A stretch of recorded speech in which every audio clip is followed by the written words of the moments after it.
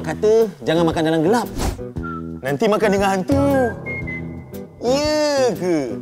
Macam mana kalau lauk tu tak sedap? Takkan hantu tu pun join juga? Macam mana kalau kita makan racun dalam gelap? Takkan hantu tu pun makan racun tu? Macam mana kalau kita makan rasuah dalam gelap? Takkan hantu tu pun dapat duit rasuah tu sikit? Hmm. Tak logik. Kita kena tukar. Kita kena tukar.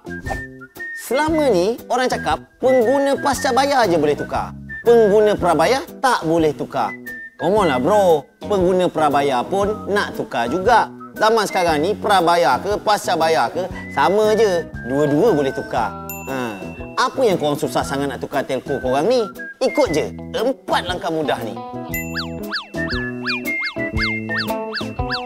Sebenarnya nak menukar ke telco lain ni taklah menyusahkan sangat pun. Alah, tak payah ikut sangatlah pantang larang ni. Itu tak boleh, ini tak boleh. Hantu kalau nak join kita makan, dalam terang pun boleh.